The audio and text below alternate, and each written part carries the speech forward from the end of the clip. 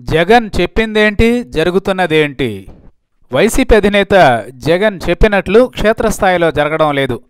ఒక పక్క పార్టీ అధినేత ఎండనక వాననక రోజుకు పదిహేను కిలోమీటర్ల పాదయాత్ర చేస్తూ కష్టపడుతుంటే నియోజకవర్గాల్లో నేతలు మాత్రం తడిగుడ్డ వేసుకొని పడుకున్నారన్న విమర్శలు వినిపిస్తున్నాయి. పాదయాత్రలో ఉండగానే ఒక క్యాలెండర్ను జగన్ విడుదల చేశారు. పాదయాత్రలో తాను ఏ జిల్లాలో ఉన్నప్పటికీ అన్ని నియోజకవర్గాల్లో రచ్చబండ పల్లె నిద్ర వంటి కార్యక్రమాలను కొందరు చేయడం లేదు. దీనిపై జగన్ సీరియస్గా ఉన్నట్లు పార్టీ వర్గాలు చెప్పాయి.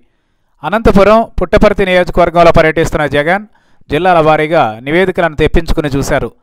చాలా నియోజకవర్గాల్లో కార్యక్రమాలు జరగడం లేదు.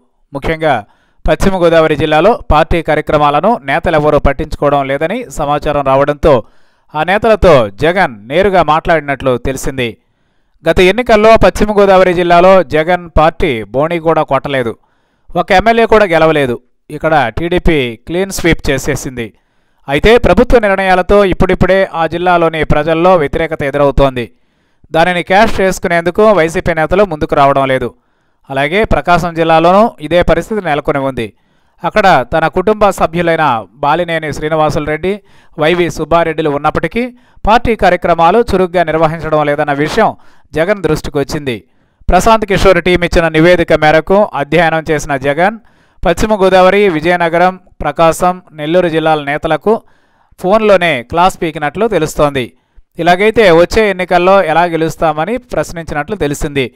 కార్యక్రమాలు చేపట్టడానికి మీకు ఎదురవుతున్న ఇబ్బందులు ఏంటో చెప్పాలని కూడా జగన్ కొంత కఠినంగానే ప్రశ్నించడంతో వారు నీళ్ళు నమిలారు. మొత్తం మీద పాదయాత్రకు ముందు పవర్ పాయింట్ ప్రజెంటేషన్ ఇచ్చి మరీ జగన్ కార్యక్రమాలను రూపొందిస్తే వాటిని అమలు చేయడానికి మాత్రం నేతలు ముందుకు రావడం లేదు. దీంతో త్వరలోనే సీనియర్ నేతల సమావేశాన్ని ఏర్పాటు చేయాలని ఆదేశించినట్లు సమాచారం. మొత్తం మీద జగన్ చెప్పినట్లు క్షేత్రస్థాయిలో జరగడం లేదన్నది మాత్రం తెలియడంతో జగన్ ఒకంత అసహనం వ్యక్తం చేశారట.